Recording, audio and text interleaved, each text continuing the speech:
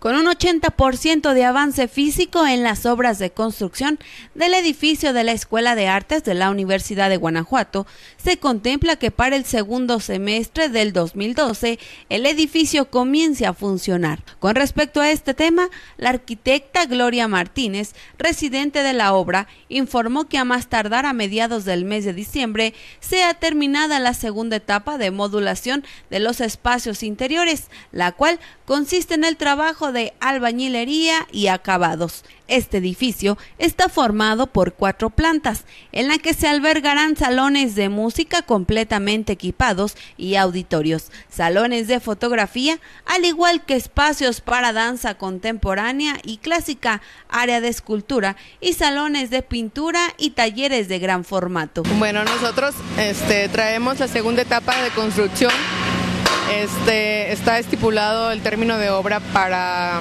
mediados de diciembre, que serían todos los trabajos de albañilerías y acabados, pero no entran este, acabados especiales. Estos ya entrarían en una tercera etapa, que están programados para inicio de año. Ah, aproximadamente entre área de herrería y tablarroqueros y albañiles alrededor de unos 50. ¿Qué es lo que están haciendo en este momento? Ahorita se encuentra la etapa de modulación de los espacios interiores con muros de tabla roca y prefabricados.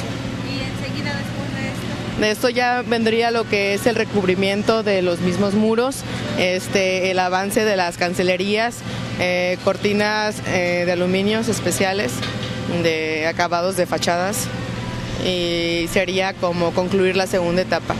Se podría decir que un 80%, este, ya que quedarían pendientes todos los trabajos de instalaciones especiales como redes, eh, internet, eh, áreas verdes, que eso es lo que incluye parte de la tercera etapa.